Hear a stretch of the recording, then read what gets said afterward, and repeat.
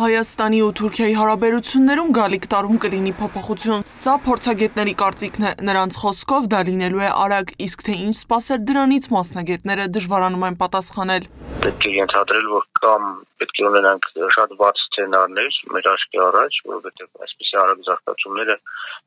փխրուն են կայունության հասկացության տեսանկյունից։ Թեպետ երկուս տեք հնչում են հաշտություն կնքելու սահմանը բացելու խոսքեր, բայց չի փոխվել Թուրքիայի հակահայկական տրամադրությունը։ Թվական այսպես դրական հայտարարությունների, իսկ սահմանների բացումը դրական հայտարարություն կարող ենք համարել, նմանատիպ հայտարարությունների տակ իրականում թաքնված են նորանոր սպառնալիքներ։ Մասնագետները չեն բացառում, որ Թուրքիան կօգտվի նաև Հայաստանում ստեղծված անկայունությունից։ Հիմա Հայաստանի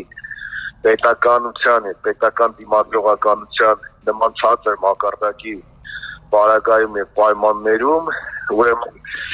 այդ ամենը կարող է ունենալ սպառնալիքի նշանակություն։ Որոշ փորձագետների կարծիքով էլ Հայաստանի ու Թուրքիայի հարաբերության կարգավորման առաջին պայմանը լինելու է ցեղասպանության հարցը օրակարգից դուրս բերելը, ինչը բնորոշ է Էրդողանի վարած քաղաքականությանը։ Տեսականորեն իհարկե կարող է, բայց դա այնքան ծիծաղելի կլինի, մանավանդ այս տարի, գիտեք, տարեսկզբին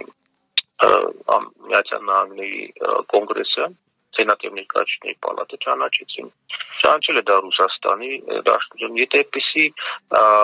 պահանջ լինի նախանչի իրագործելու, դա շատ հասկանում են Անկարայում։ Եվ երրորդը բավական ցիցաղելի վիճակում կհայտնվի։ Իսկ թե ինչ իրադարձություններ կլինեն 2021 թվականին, Թուրքիան ինչ պայմաններ կդնի սեղանին եւ Հայաստանն ինչ պատասխան կտա, մասնագետները խուսափում են կանխատեսել։ Գարի Մութաֆյան, Արտյոմ Նահապետյան, Armnews